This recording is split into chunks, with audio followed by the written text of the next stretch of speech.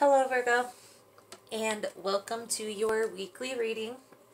This message will be for July 22nd through the 31st and we'll have a weekly intention. If you find the message resonates, please feel free to like the video or comment below. Also, if you would like future messages, you can feel free to subscribe. Everyone's always welcome here. I offer monthly and weekly readings on a consistent basis. I'm going to start also doing extended readings, so things will be switching around here on YouTube, but I will always offer at least the monthly guidance messages. I'll still offer snippets of every all the other readings that I'll be extending but there will definitely be a link below in the description to those readings. So you will have access to that, as well as I'm going to be offering a subscription to all the monthly readings within each sign that are extended for a subscription fee for you. So, go the distance. Also, really quick, if the messages don't resonate, I do apologize in advance. The messages are general. They're not going to resonate for everyone. So take what resonates, leave the rest. Um, you can also reverse the roles or check any other sign in your birth chart. So go the distance. So Virgo, go the distance. This card symbolizes endurance, strength, kind of like an endurance run where you're going for a long time.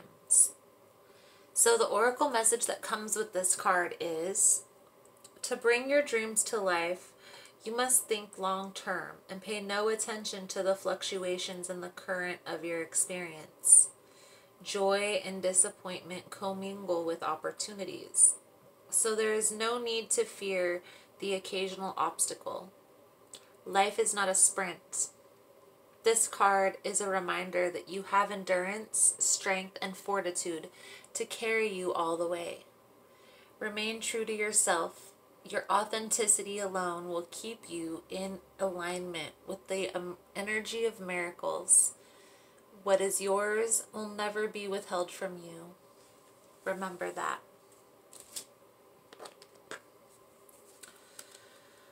So, Virgo, the card symbolizes enjoying the journey of life rather than getting hung up on the negative aspects. And I think it's something that every sign could really work on. But today, Virgo, this is your reading, and there's a situation that you're involved in that may be causing a lot of anxiety. But understand that this situation is meant to be. So, no matter what, this person, place, or thing that is destined to be in your life, if it's not there right now, it will come back. So let's see what the tarot has to say about going the distance. And what's meant to be in Virgo's life.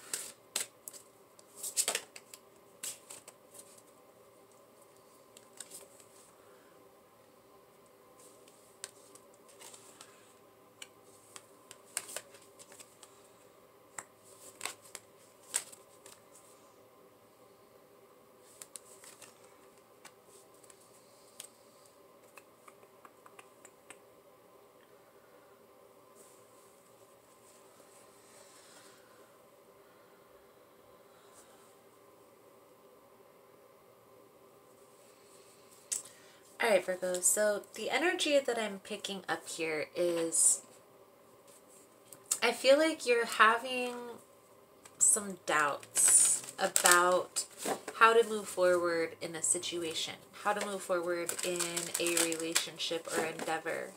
Okay? I feel like there's this sense of loss, sense of guilt.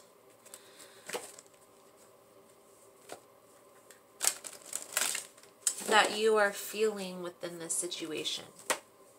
You may be feeling like this is your fault, when in fact, I feel like there's going to be some secrets revealed within this situation with the High Priestess here that's going to bring some light to the situation.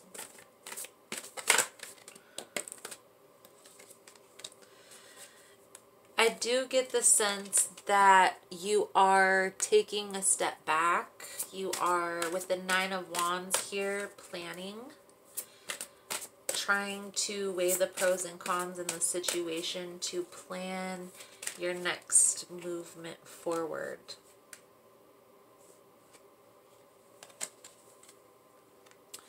There also may be information that comes forward that helps make a decision within this situation, if I didn't say that already.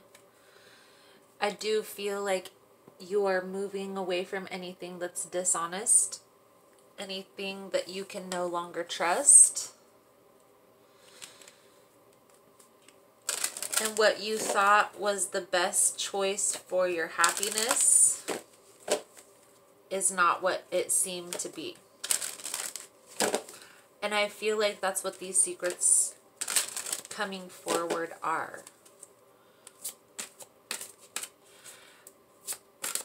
Don't be afraid to walk away from things that are misleading and breaking trust. I feel like if the person was meant to be in your life, they'll learn from this and they will come back around. And that's what I feel go the distance. You have to pay attention, Virgo, to your happiness, to how you're feeling, your emotions, right? And you have to make the best decision depending on your happiness.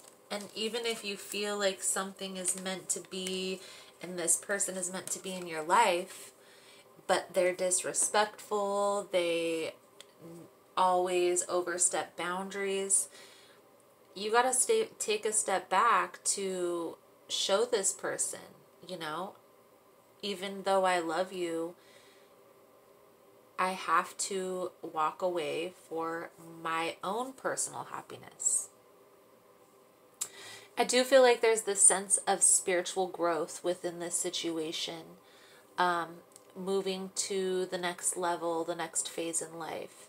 It's been coming up prominent in all readings, uh, a sense of transformation. I feel like it's really with the collective. But for you, Virgo, I feel like reviewing the past details and planning your next steps is what's going to bring in this bright future, this understanding of what your life's purpose really is. Okay? The goddess guidance cards that we have are easy does it. There's no need to hurry or force things to happen. Everything is occurring in perfect timing. Easy does it. We already have made aware this is a transformation. You're experiencing enormous change right now. Even though these changes feel burdening at the time, at this moment, they're bringing in great blessings. We also have the Ten of Autumn, which is the Ten of Pentacles. This card signifies generational wealth, um, taking steps to secure your financial security for not only yourself, but for your loved ones as well. Okay? That to me tells me something big is in the works. Just saying. Now we have Hathor, receptivity. Allow yourself to receive. This will increase your intuition, energy, and ability to give to others.